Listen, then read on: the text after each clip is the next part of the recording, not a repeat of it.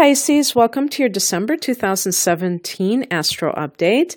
Pisces, I think that this is a really good time for you actually because the 10th and 11th houses are really featured for you in December. The 10th house is the house of career. Okay.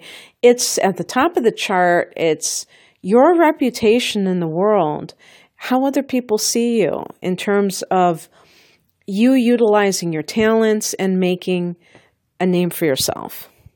The 11th house is the house of hopes and wishes and your friendships and group associations. And it's your long term goals. And to me, these two houses are very much linked. And so Venus on the first of the month goes into that 10th house. Now, Venus can bring money with her as well as harmony, charisma, um, charm. And so, being in that 10th house, it can really give you an advantage if you're looking for a, if you're trying to impress a particular employer, or if you are currently employed, you're trying to um, impress your higher ups because you will have a lot of um, charisma and this could benefit you financially, obviously, but definitely in terms of getting ahead, in terms of getting a promotion and things like that. But then Venus goes into the 11th house, and that's on Christmas Day. And that could be a situation where you have money to be able to make your dreams come true. Something that you've always wanted to do comes to pass in terms of having the finances. Now, can I tell you how that might happen? No. But they always say it's none of your business how these things happen. It's just like if you make space for it in your consciousness, it makes it more likely to occur. But I really like um, the places that Venus is going in December because the fact that Venus is a source of attraction means that you can attract a partner or you can attract money. And um, you think about the law of attraction. The law of attraction is all about your vibe um, giving you something of an equal vibe. So if you're really in that aspirational mode, you may meet somebody who shares your passions, who wants to go in the same direction that you're going. And that's the best type of partner, isn't it? I, I, I would add too that with Venus in the 11th house, you may meet somebody um, through a group of friends. Like I'm talking about a romantic partner. So on the third of the month, Mercury goes retrograde in Sagittarius, which is your 10th house, um, as I stated. And um, let's say that you were interviewing for a job. You might be in some kind of negotiation. Um, well, it doesn't even have to be that. It could be that you are hoping to get a uh, a promotion and you're going back and forth with the, with your current employer, or it could be that you hear back from a place that you applied to. And so Mercury is retrograde from the 3rd until the 22nd, goes direct right before Christmas. And on the same day that Mercury goes retrograde, there's a full moon in Gemini. And this is in your um, this is in your fourth house of home and family, the opposite house of that 10th house. So, because there is an opposition between this full moon and all of that activity in the 10th house, there may be some kind of issue regarding, um, let's say, you have uh, been staying at home with your children. You may decide, okay, I'm going back to work, and that might be what that negotiation is with your career. You may be going back to a job that you had um, or a career that you had before, but I mean a particular workplace. And um, maybe you were on maternity leave or something along those lines. Maybe you worked there in the past and hey, maybe it was like a few years ago and now you're ready to go back into the workplace. Because full moons can bring endings, and this is the house of home and family, and you may be done with a, certain phase of your life. Maybe you were spending, you're raising your children when they were very young, and you're going back into the workplace. Because there's a lot of emphasis on that 10th house, and that is uh, one of the reasons why you know you see that contrast between the fourth and the tenth houses is because the tenth house is the outer um, arena that relates to um, your position in the world, okay? And the home and family sector is a private area. It's not what everybody sees, okay? The the other thing that the fourth house can can bring is that perhaps you're moving, perhaps you are selling a house or something along those lines, and it comes through at that time just be um, aware that this is the the day of Mercury going retrograde.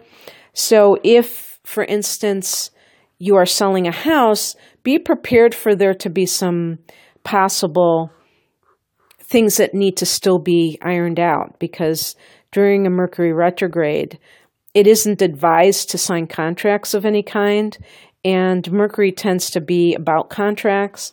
And fourth house matters if there's anything related to a house there still may be things that you need to kind of um, look at in regards to that. But it doesn't mean that it's going to be something bad. Sometimes you got to do what you got to do. You you don't have the luxury of waiting another month you know for mercury to go out of its shadow and all that stuff. Uh, the realtor won't understand and they'll think you're kind of nuts. But um, I just wanted to put it out there because it all depends on um, how much leeway you have. And so, if you must sign a, sign some type of contract, be sure that you are going uh, through it with a fine tooth comb and being very conscious of the fact that you're dealing with this astrological aspect. And I think you'll be fine. Um, but some people get very um, superstitious about uh, these things and they would rather not deal with them at that time, and they may have the luxury to do so. So then on the 9th, we have Mars going into Scorpio. And for you, um, this is your ninth house, uh, Pisces, and this is a friendly angle to you, fellow water sign. Mars in the ninth house can indicate somebody who is taking some kind of a crash course at a university. Perhaps you are doing, or it could be a crash course uh, for yoga or some other kind of um, training that is compressed in a very short time. Maybe you're, you're uh, even at a retreat and you're just very busy um, yeah, hatha yoga where you're physically active. It could be you um, globe trotting because um, Mars is like that that physical aspect even, and um, the ninth house can be foreign travel. So um, how that affects you personally will depend on the individual, I suppose. But you do have a new moon in Sagittarius on the 18th, and this is in your 10th house again, of career.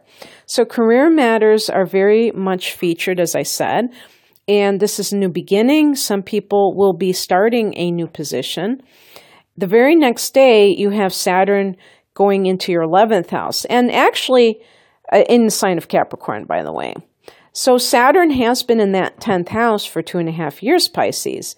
Some of you who know about astrology may have been very conscious of the fact that it was going into your 10th house and took full advantage of kind of anchoring your career at this in you know since 2015 some of you may have just done so anyway without knowing what was happening and some of you may feel like oh man why didn't i you know take advantage of this well the 11th house is long term goals.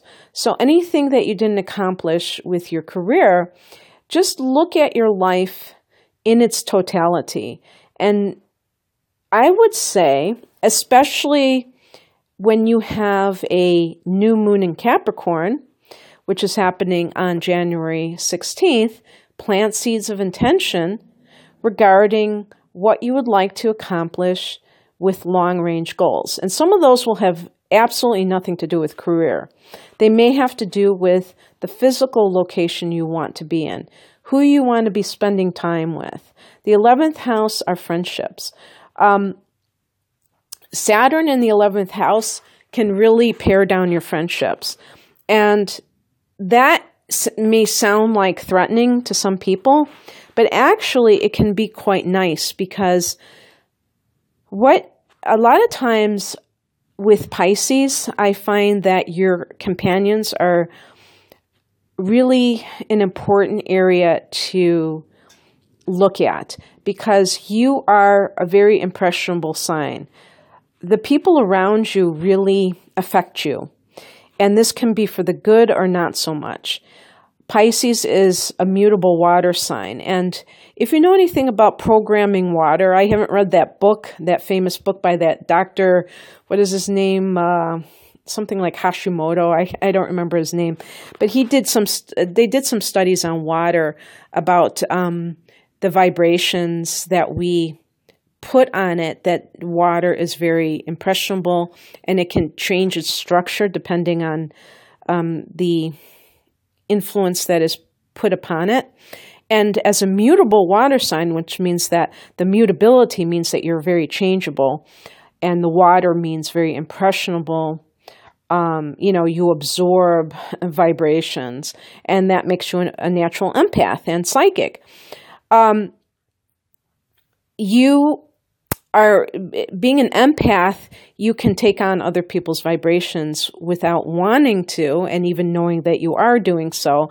And so, uh, keeping good company is highly um, recommended because you are very tolerant. You are very um, you are non-judgmental when it comes to other people. Now, of course, there are going to be those Pisces people who are going to be a little bit different than that. Not everybody is is like that, but most Pisces people are very open to the personality traits of other people, even when they are not beneficial to the Pisces overall. You know, so if a person is highly um, negative, you know, they're always complaining, they're always um, having problems, that can affect you adversely. And so this can be a time when you really find your tribe, so to speak, which are those people that nourish you and that they have your back and that you can have their back and, and you don't feel diminished uh, for it. Okay. And so Saturn brings that structure to your social circle, but also to your aspirations. And, um, you know, a lot of Pisces people are artistic. You never know about the things that you wish to accomplish that you think are just kind of um, hobbies, and you they may turn into something that um, you can actually make a living from as well. And then the sun goes into this 11th house a couple of days later on the 21st, which is the solstice. So um, you're going to, Pisces, you're going to be very much um, around the time of um, the solstice, you're going to be very um, uh, sociable and you may be dealing with um, a lot of people because Venus will be there on uh, Christmas Day. And, um, you know, you may be seeing a lot of friends and just having a good time and thinking about those things that uh, matter to you. So I hope you enjoyed this, Pisces. And if you would like a private reading, I do have 20% off of all of my readings through the end of December of 2017. Uh, the coupon code is Jupiter, and you just put that in all caps. The link is below to my website. Otherwise, have an awesome holiday. Take care. Bye.